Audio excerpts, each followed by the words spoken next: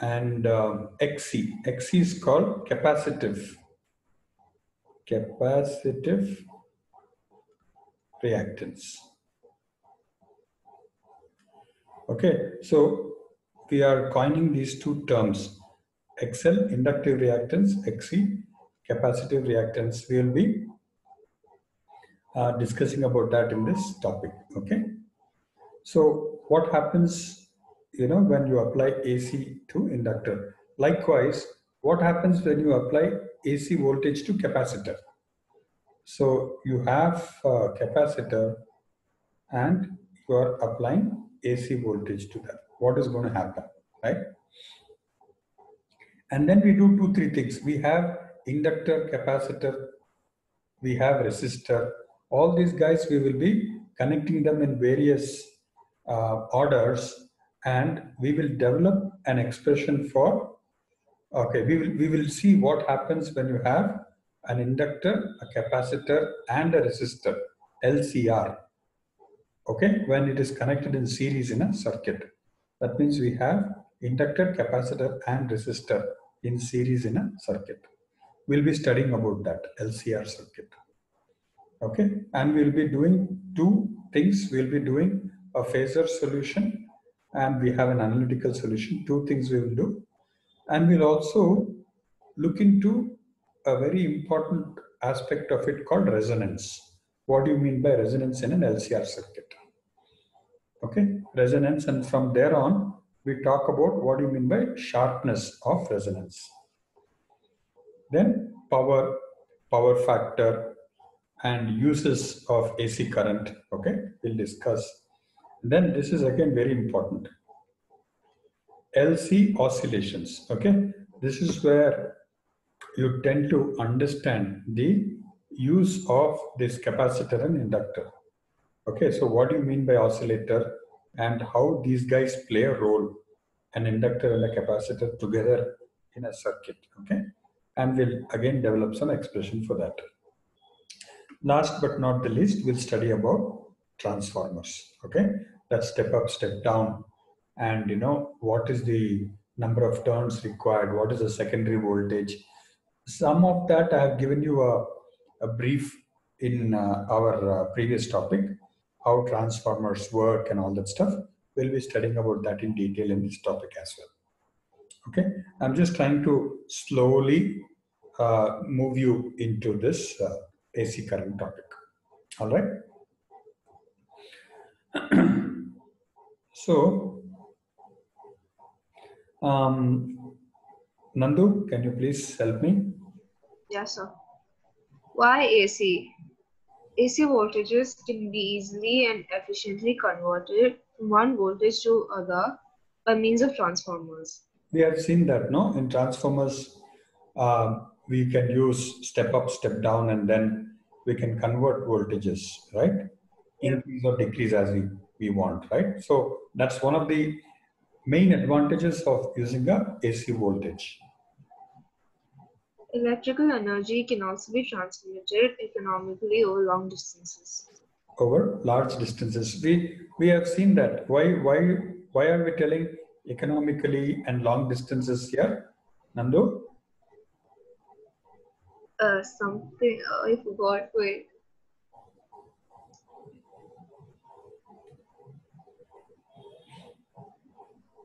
While you think about it, Siri, can you pitch in? So is it because we can um, increase the voltage? Yeah, because the moment you are able to increase the voltage, right? You can yeah. you can uh, it doesn't wear out the yeah, wires. The same power, okay, you can transmit it in two ways. You can have a large, uh, a small voltage you can have a large current. Okay, think of it like this: uh, medium voltage, large current. Area under them is power, or you can transmit it at very high voltage and very small current. This also you can transmit. Again, this is the same power as above, but the fashion in which you are transmitting it in the long wires okay, um, from the place where it is generated, our uh, hydel plant, let's say, to your house in HSR layout, right? It is getting generated here. You can do it in two ways. You can transmit it in two ways. The advantage is, yeah, if you have a very high current, right? My I square R losses are going to be high. Means here, uh, whatever may be the metal that you're using here, okay, it is going to have some resistance. It is going to have I square R losses, isn't it? So our key aim is to reduce this I. You're able to understand, no? Yes, sir. So if here the I is large, I square also is going to be large. So lot of power losses are going to happen. Transmission losses are going to happen. That's why we are saying we are using the word economically. Economically means you don't want any losses over large distances. Here, if you see, we have used IV, but our current is quite low. Okay, maybe it is as low as some milliamperes or you know decimals may send it. Because of that, I square R losses are very, very reduced, marginal. Okay. And the whole thing is enabled only because you are able to convert the voltage. Isn't it? You are able to step up यार यहाँ पे voltage कम है यहाँ पे voltage काफी ज्यादा है you are able to do that you are able to do that only because you are having an AC voltage if you are having a DC voltage a voltage does, does not change with time ठीक है voltage versus time if you take DC voltage is like this right Can this voltage be manipulated? It cannot be right? You take a transformer and you put a DC voltage like this on this side. And you put a uh, you try to have another coil and try to take a uh, you know the secondary voltage here voltage primary voltage secondary. Can you increase or decrease here? If you do it in this fashion if you supply this here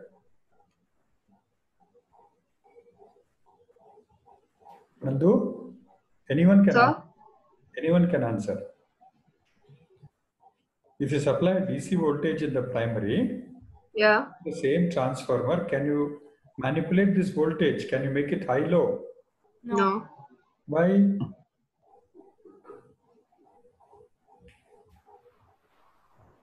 Why? There'll be no induced. Yes, here EMF is generated because of induction. Okay, EMF is generated because see here we are take we are feeding the primary, we are trying to develop uh, EMF in the secondary. Okay, that method of developing is through induction. Okay, and the primary need, the basis of induction is changing flux Isn't it? I want changing flux. So, how will flux change if current changes? How will current change if voltage changes? So, if voltage is not changing, current also will not change. If current is not changing, where will flux change? Okay, the flux that is going through this, na, वो गिरेगा कम नहीं होएगा वो constant flux रहेगा the moment you have conflict, constant flux your EMF also will be zero because EMF is going to be change in flux over time, isn't it? That means, yeah, agar induced EMF if I want to induce it, then this voltage necessarily has to be alternating in nature. Alternating voltage here, to current will change. Current will change means flux will change. Changing flux agar hai, to yahan pe bhi I will be able to induce the EMF, right? And once I am able to induce EMF, then I manipulate the turns. Number of turns in primary number of turns in secondary I can manipulate it and I can get a high voltage. Guys are you following? Yes, sir. slowly now we are moving across topics isn't it? Yeah. so that's the reason why AC is preferred over DC go ahead. AC voltage exhibits a characteristic called resonance, which can be used for tuning. I will uh, deal with this when we go in the lesson, okay? But you can say AC circuit, you can tune. Most of the electrical devices we use require AC voltage. This is mainly because most of the electrical energy sold by power companies is transmitted and distributed as an alternating current. Okay. So these are the reasons why um, AC is preferred. Okay. All right. Let's go ahead. So as we said, we understood what AC is. Now we will try to see what happens when we pass alternating voltage into a resistor. So we are discussing this scenario, alternating voltage or EMF, only one resistor bias is there, we are going to pass, okay? Yeah. Now if you see, no, there you already in the previous topic you already saw, we are going to say E is equal to E naught into sine omega t. Kamala when she's pedaling the cycle, remember? So like that, whenever we have uh, when we need to model okay certain physical stuff. Like for example voltage we want to model. And we see bhaiya what kind of guy you are? Are you steady? Are you changing with time? We see that this guy alternating means is going to change with time right? So whenever we have stuff that is going to change with time periodically okay we take the help of trigonometry.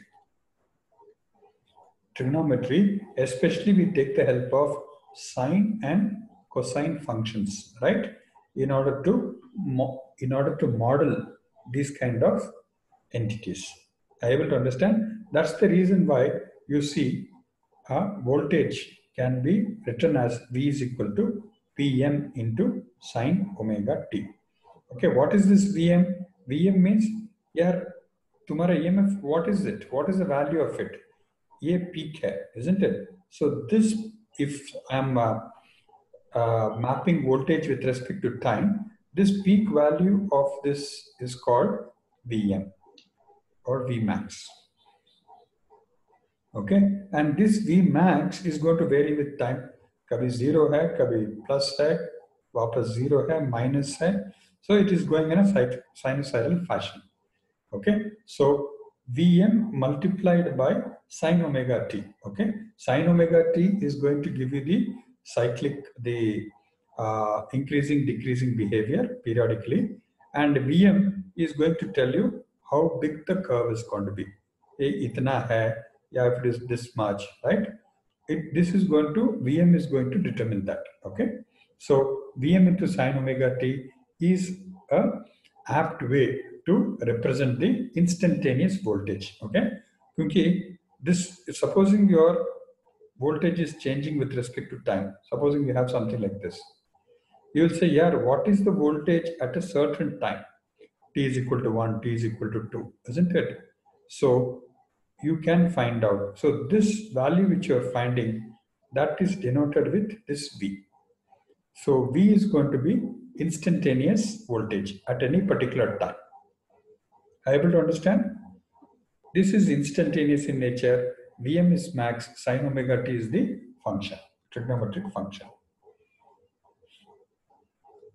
Guys, do you want to make a small note of this as to why uh, trigonometric function is used, number one, okay? And what do you mean by Vm and what do you mean by V? Just make a small note of it.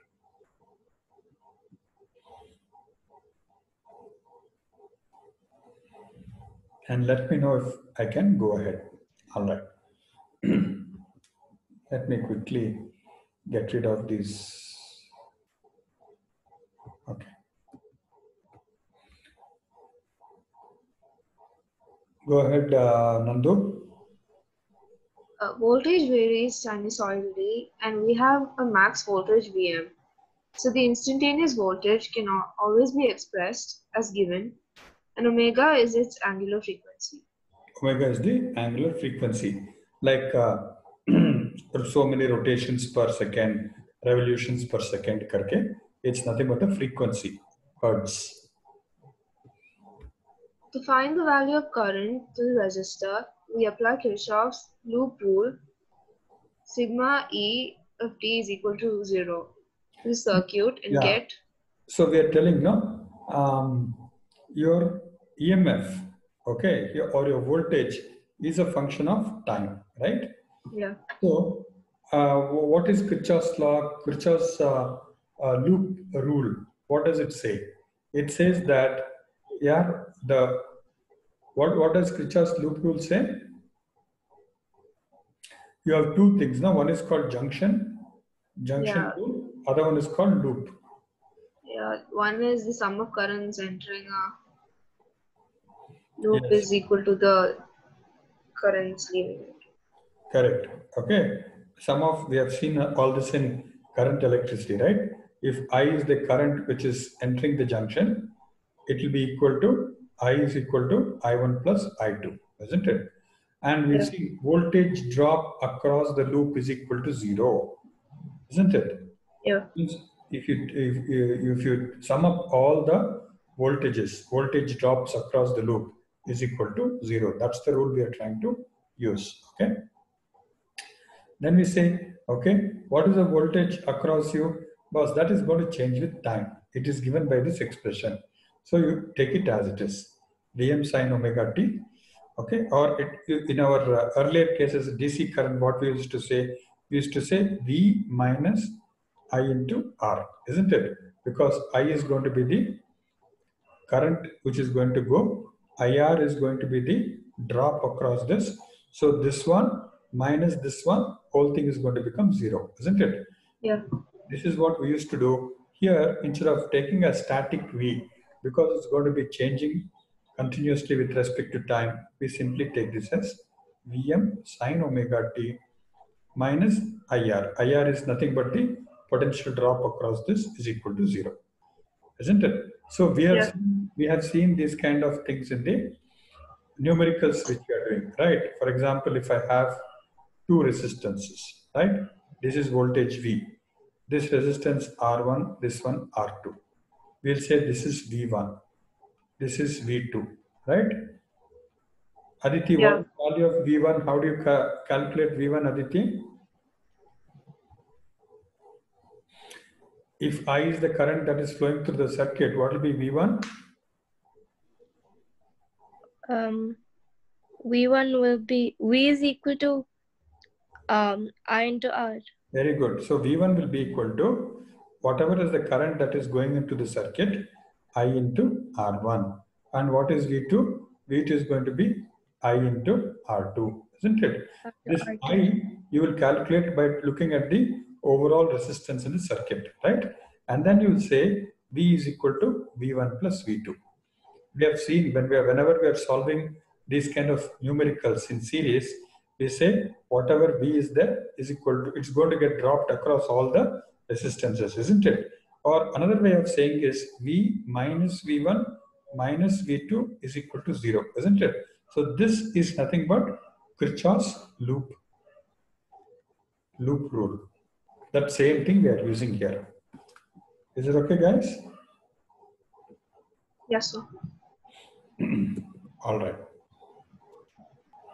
uh, Vm sine omega t is equal to IR or I is equal to Vm by R into sine omega t. Okay. So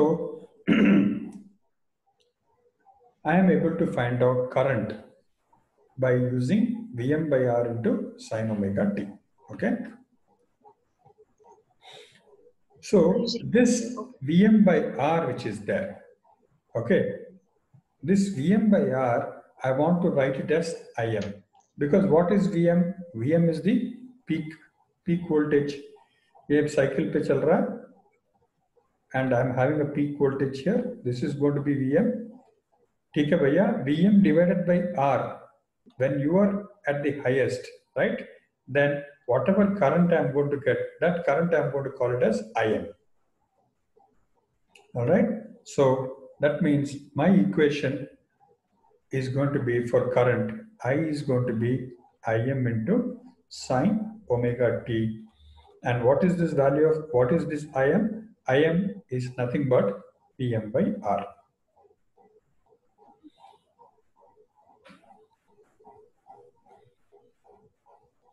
Okay. And if you look at it, Im is equal to Vm by R, Ohm's law is also getting, it is representing Ohm's law. That means just because we are using alternate current does not mean Ohm's law is going to get violated.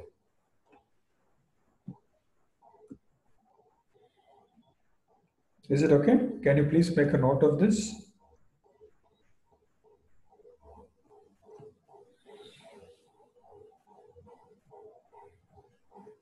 Nothing from that loop law, we are just uh, uh, uh, uh, you know finding out what is the value of I. And then we are uh, developing an expression for I in terms of max current Im.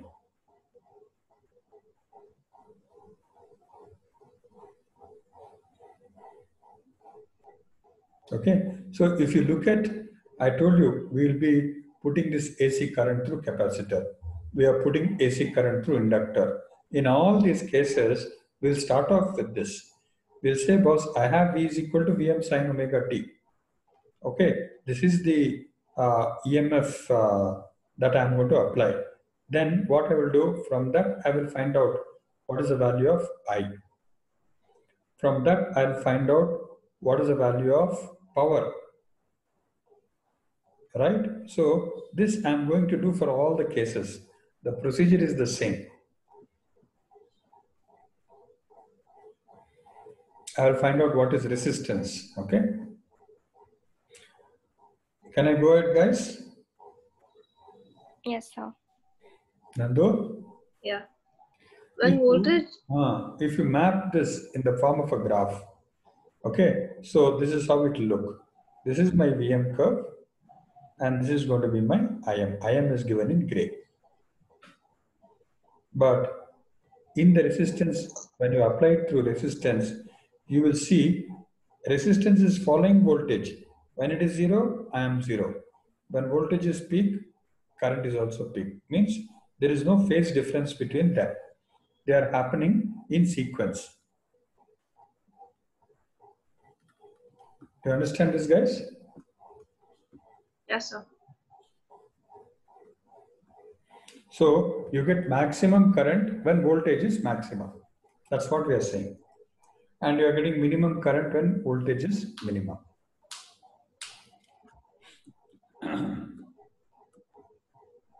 Go ahead. Like the applied voltage, the current varies sinusoidally and has corresponding positive and negative values during each cycle. That's what we just just now discussed. Thus, the sum of the instantaneous current values over one complete cycle is zero. The average current is zero. Isn't it? Because we are telling, yeah, uh, you have a circuit, right? In this circuit, your uh, current direction is flowing. Okay. Supposing at one instant this is positive, this is negative. So your current is flowing this way.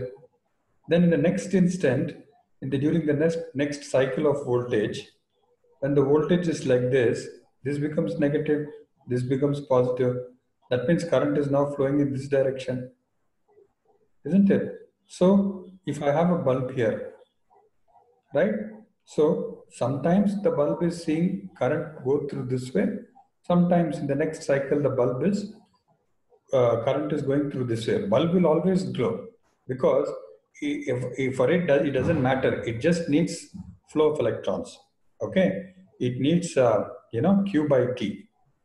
It doesn't it doesn't matter if the same electrons are reciprocating this side that side. Okay, so that's that's what is going to happen here in the case of uh, an alternating current, right? So if you say, yeah, net, how many electrons actually passed a particular point and you know reached this, eh, we can't do. Some electrons are going this way, same amount of electrons are coming in this way. So across a given cross section, I can't tell you if there is any net current. Average is always going to be zero. Does it make sense, guys? Yes, sir. The fact that the average current is zero, however, does not mean that the average power consumed is zero and that there is no dissipation of electrical energy. Because all smart people will say, isn't it? Sir, P is equal to V into I. So you are telling I is equal to zero. That means most of the electrical application uh, appliances, when I'm uh, connecting it to alternating voltage, they will not consume any power. Power dissipated is zero. So nice, right? But that's not the case. Okay. Just because current is zero, it does not mean power is equal to zero, which we will see mathematically. Joule heating is given by I square R and depends on I square, which is always positive whether I is positive or negative and not on I. Okay, so that's where the coconut is broken. Okay, it is Joule heating when we say is I square into R. So whatever be the current which is flowing, definitely I square is going to be positive and we'll get, okay, a positive power is going to get dissipated in the circuit, okay. Real power is going to get dissipated. Thus, there is Joule heating and dissipation of electrical energy when an AC current passes through a resistor. The instantaneous power dissipated in the resistor is C is equal to I square R, which is equal to I square M R sine square omega t. Yeah, because I, you know, I is equal to Im into sine omega t, correct? Huh? So this value I am substituting here. So I square will become Im I suffix m square or I'll always keep calling it as Im square sine square omega t. Do you agree? Yes, sir. I'm- just using the equation I, which we have just now developed for current. I is equal to Im into sine omega t.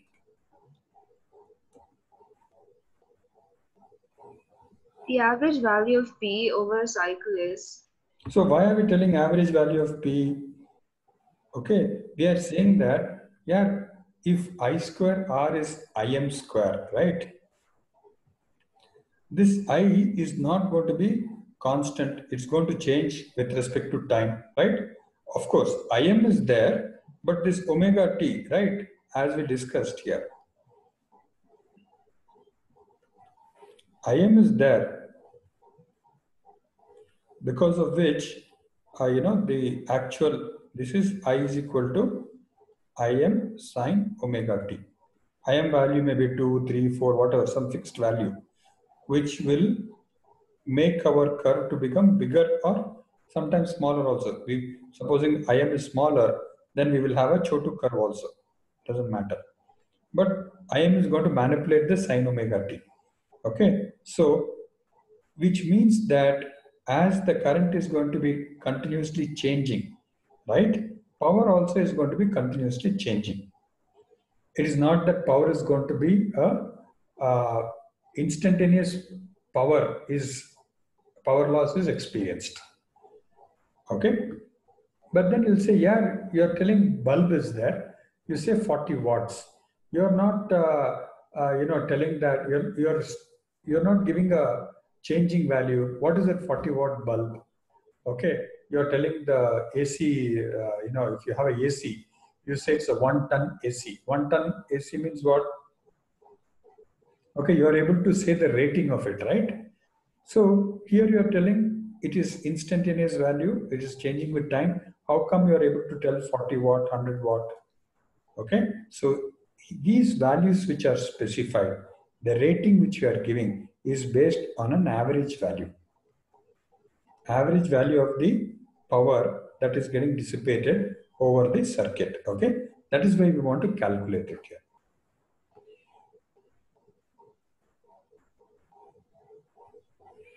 And that P average is indicated by P bar. Okay, and when you enclose it in this brackets like this, okay, that means this I square R, I want to find the average value. Okay, so we're telling I square R, which is again nothing but what we have just now seen, average value of this particular term, Im square R into sine square omega t. Okay, just make a note till here. We'll go to the next slide.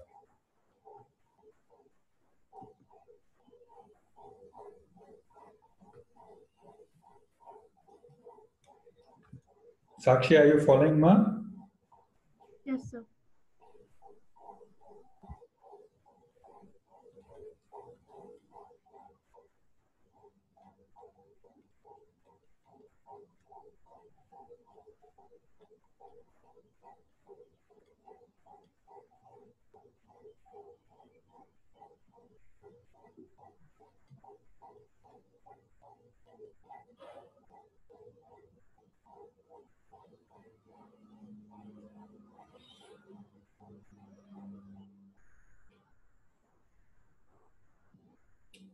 Do let me know when you're finished. We've seen that. We have seen average current is zero. Okay.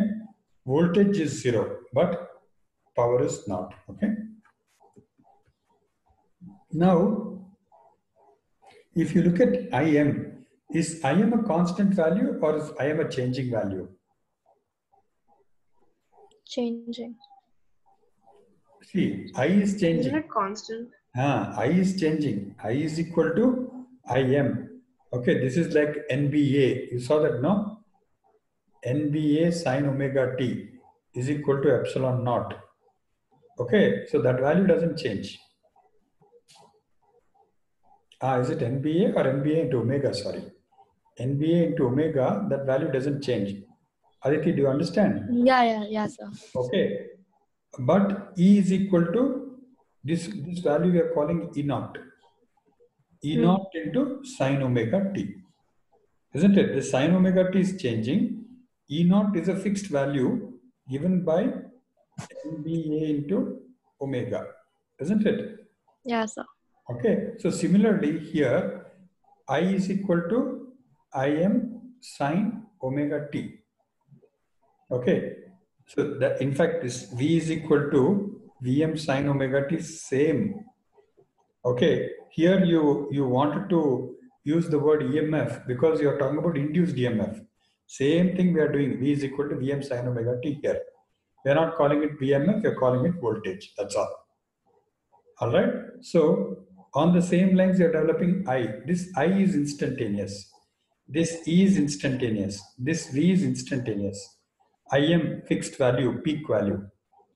E, E naught, peak value. Vm, peak value. Peak value will not change. Is it okay? So Yeah. Im does not change. R, R is changing with time. Does R change with time? No. No, right? No. So Im into R does not change with time. They're always going to be constant. So pull them out. So what is going to change with time is only sine square omega t. Do you agree? So when I'm trying to find out the average, I pull out I square R, Im square R, and try to value, find the average of this guy, sine square omega t. All right?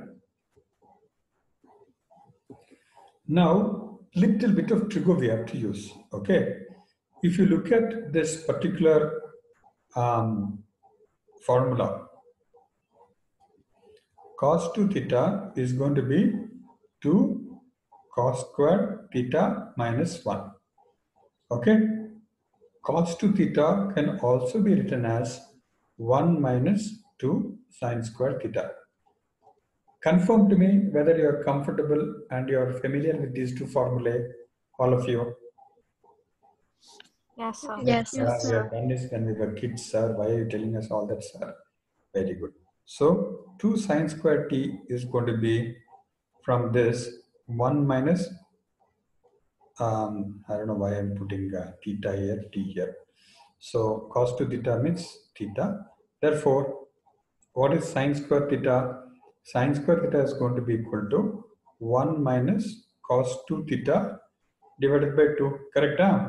So this formula I am going to use here. So I am taking off this half outside, half into 1 minus cos 2 theta here is nothing but cos 2 omega t. Okay, so I am going to find the, when you want to find the average value of this, I want to find the average value of this guy. Do you understand, guys? Only one time all these lamba choda things will do. Later on, we'll just keep doing fadafad. Okay.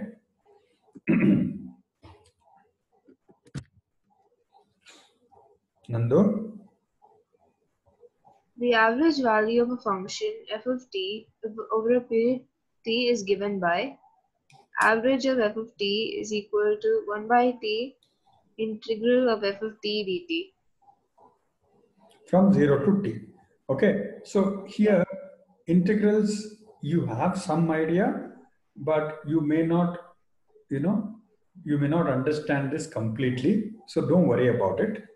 I'll uh, teach this to you in our topic. Okay, but suffice it to say that here, whatever your function is, okay, that function, when you're trying to take the average value, what will you do?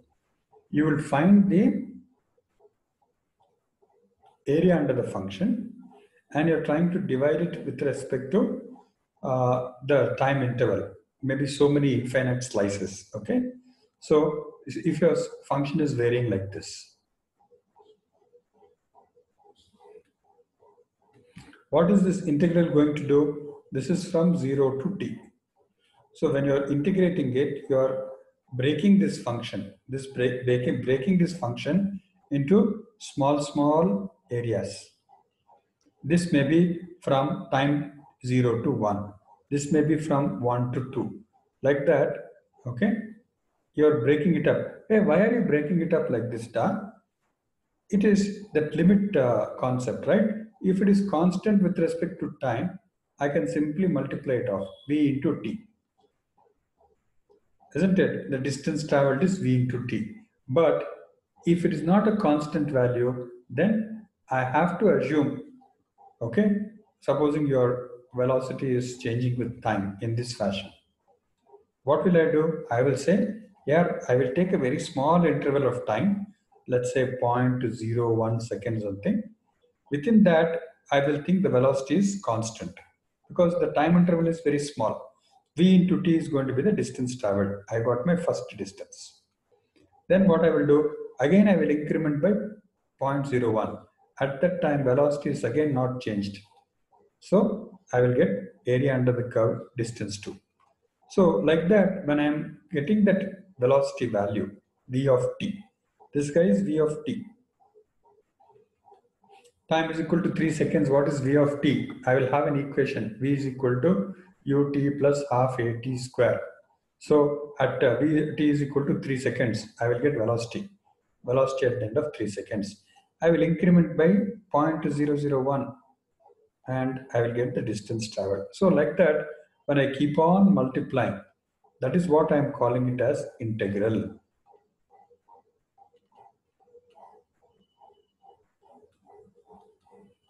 I able to understand guys? Here, integral means I am looking at the delta t value close to zero. Delta t is tending towards zero. During that time, I'm finding the area under the curve. So when you're using the symbol integral, integral means you're looking at area under the curve. Typically, area under the curve is going to give you some meaning. For example, if you do f multiplied by t, you are having force. Force is a function of time. Okay, supposing the force is continuously changing, as in the case of simple harmonic, simple harmonic motion, when this um, spring is compressed with an external force. Initially, the spring is compressing very less, okay, distance x, okay, and then the spring has now compressed. If you want to compress it further, same force is not required, more force is required. So you first apply 10 Newton, you compress it by one centimeter.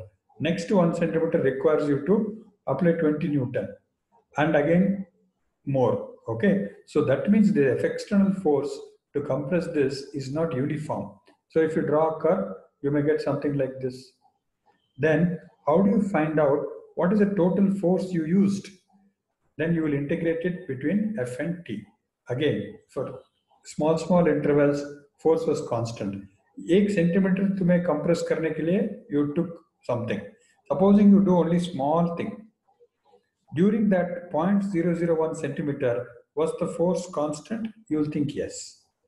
Okay, because the compression was only 0.001 centimeter. Then you can multiply it, right? So whenever this function is not uh, linear, then it's only using integration you can find out this multiplied by this. So this process of finding the area under the curve, area under the curve is going some going to give you some meaningful entity. V into T, this is going to give you distance. Maybe here this is going to give you work done. F into T, force into dis, uh, sorry, this can be displacement, okay?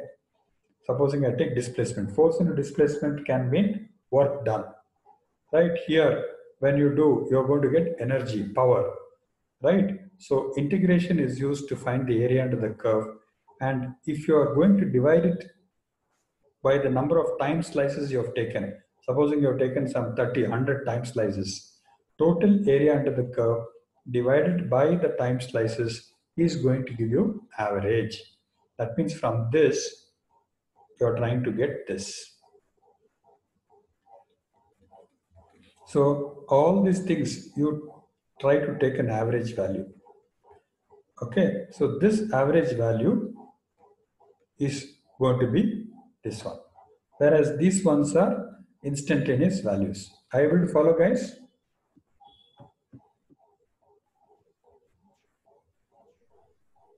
Yes, sir. Completely you lost me, huh? No, sir. Okay. So um, when the, the moment I use 1 by t, that means I'm interested in averaging. This means this is this integral. This is, just make a note of this, means to find area under curve when curve changes with time. The whole concept of integrals is that. In fact, in application of integrals, mathematics topic, okay, you will have a specific topic called find the area under curve.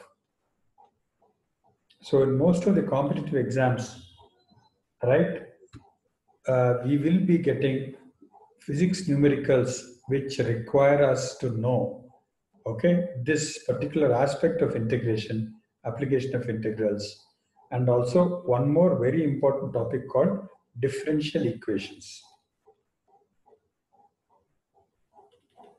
So when you are, you know, learning integrals, please focus around these two topics, area under the curve, area under the curves and differential equations under integrals.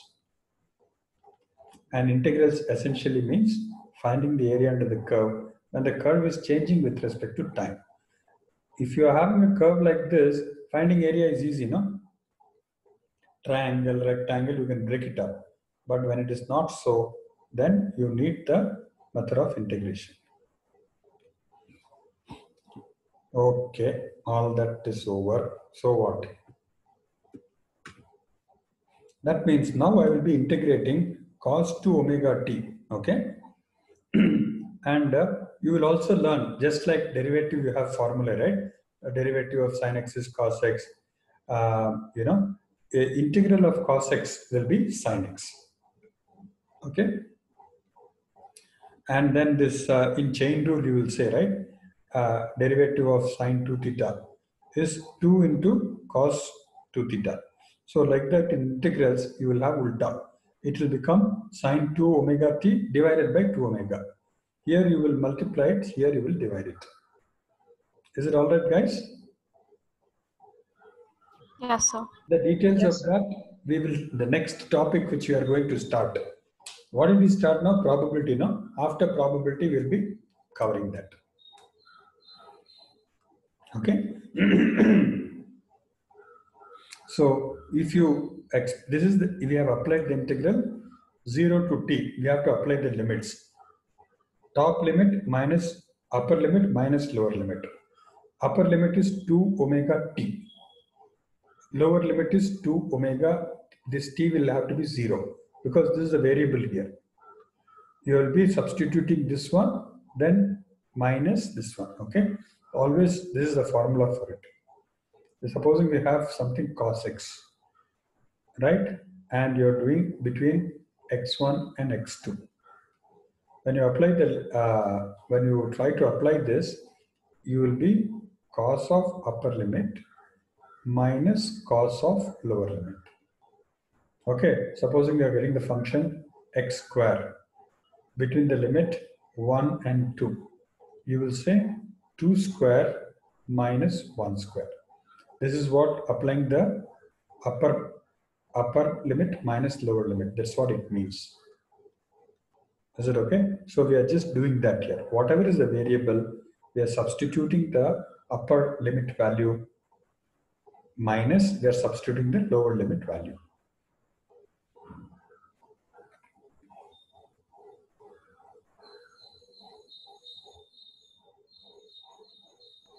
So what is that final is equal to zero? What is it, ma? Like in the end, it says equal to Ah, zero. Is equal to zero because the sine sine function, right?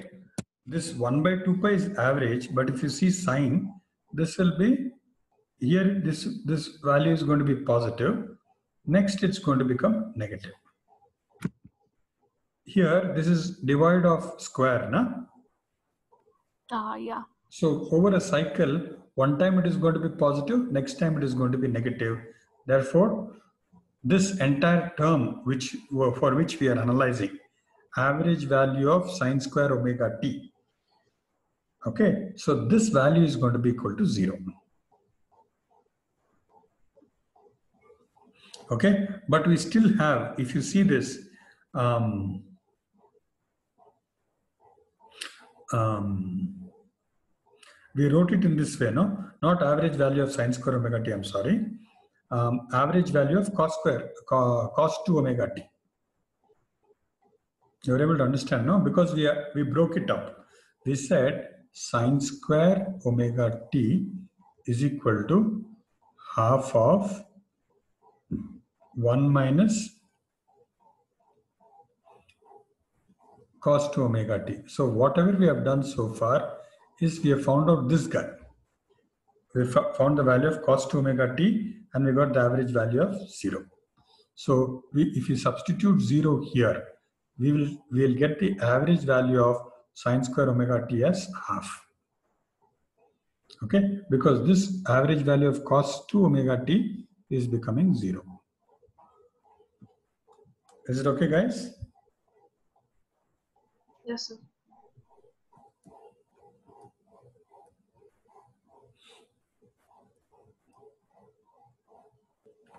So once you substitute this average value of cos omega t, which you've just done as zero, okay, we get sine square omega t is equal to half, okay? Now, what is power we said? Average power is nothing but half of i square, I, im square r. Why? This half is because of this guy. Okay, I'll just take you back. See, this is what we said. Power is equal to Im square R into average value of this. Do you agree? Yes, sir. And then what is the average value of sine square? Um, this guy? Half. Average value of this we found out to be half because half into 1 minus average of this, this guy became 0. So sine square omega t average value is half. Okay, so this guy becomes half. That means average value of power is going to be half multiplied by i square r. Okay, that means average power is going to be half of the peak power. Im square r is peak power, half of that. That means if my power is continuously changing, okay,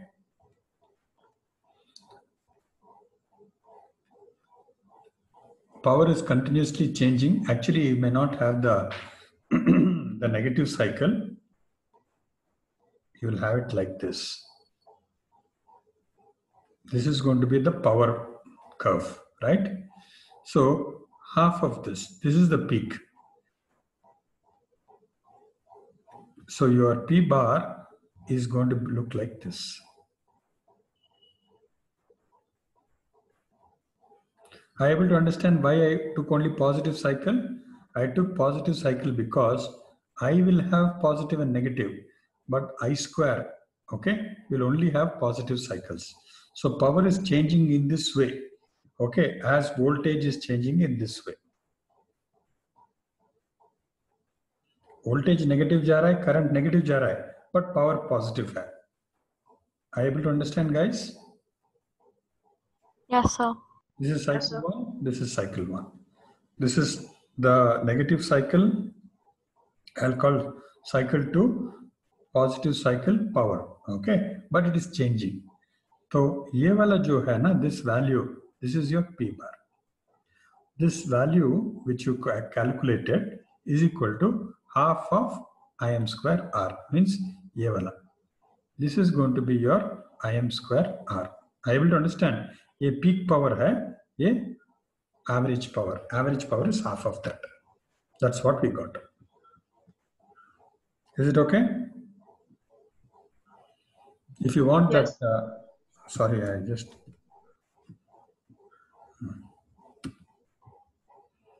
Do it. Okay. I hope you made a note of those diagrams.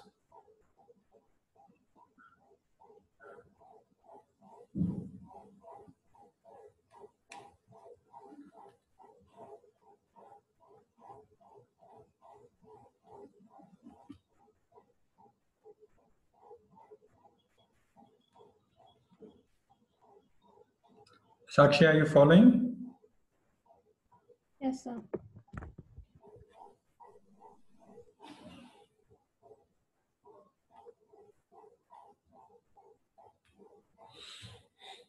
Did you make a note of the entire derivation here?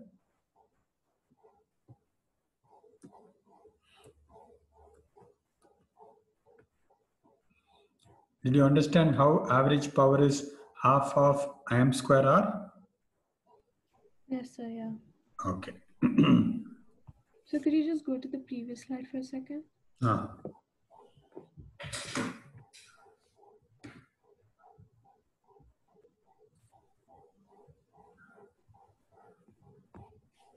Okay, yeah, so you can change it.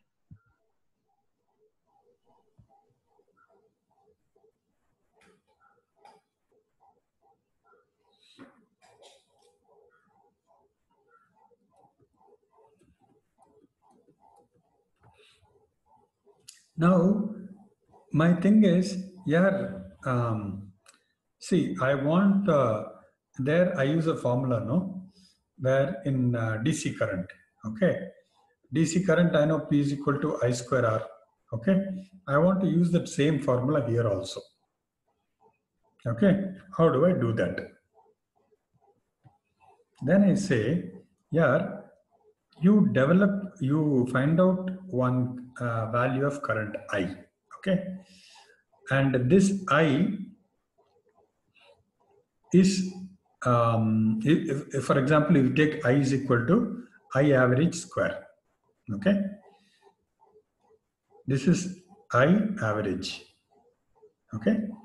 Then you take this I average or average square, right?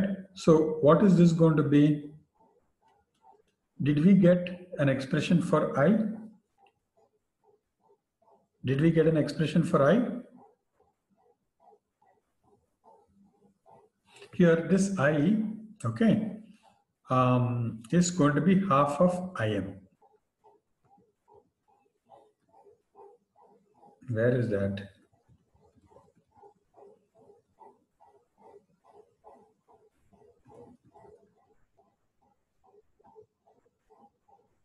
Ah, we have not got it, no?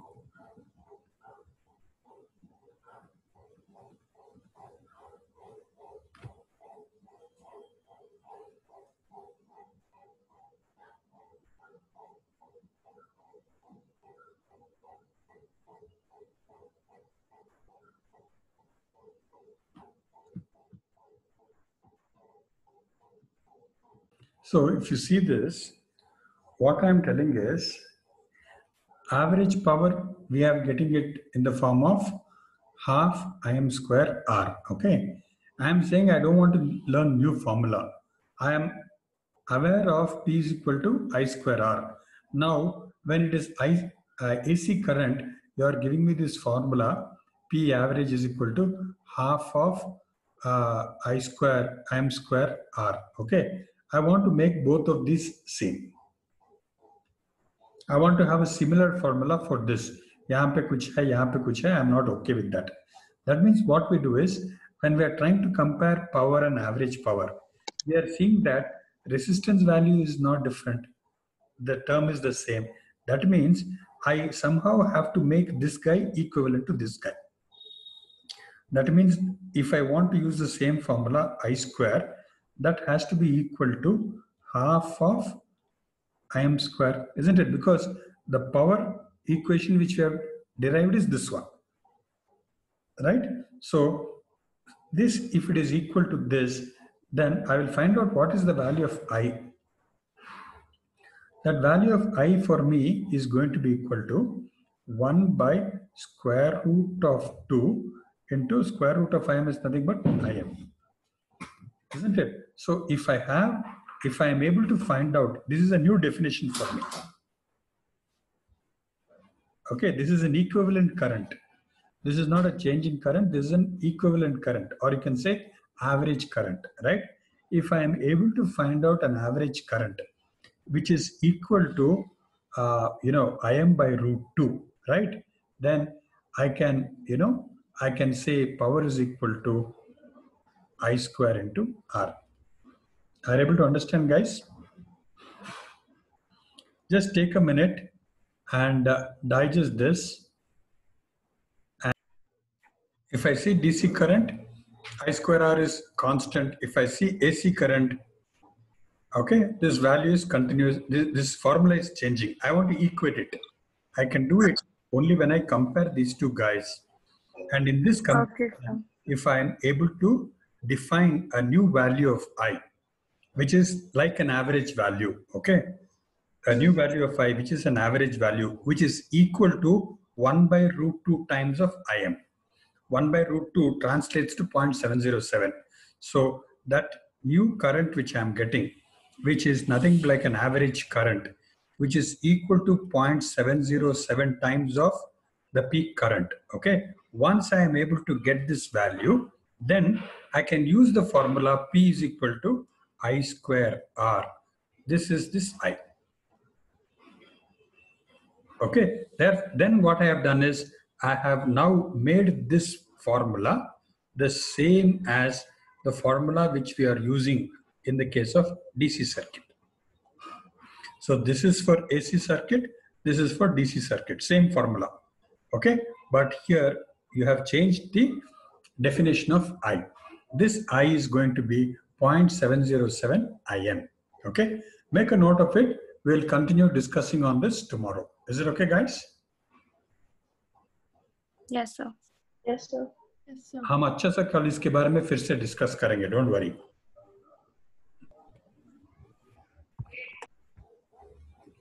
All right, guys.